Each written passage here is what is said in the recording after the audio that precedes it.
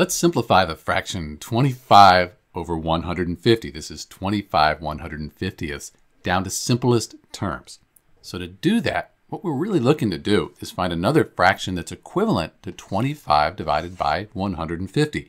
It has the same decimal value. It's just that we've simplified it to lowest terms.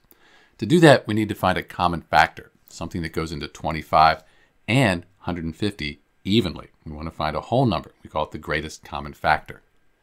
25 will go into itself and 150 evenly. So 25 divided by 25, that's just 1.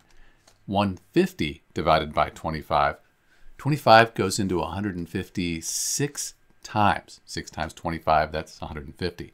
So when we simplify the fraction 25 150ths down to lowest terms, we get the fraction 1 6. We can't simplify this any further.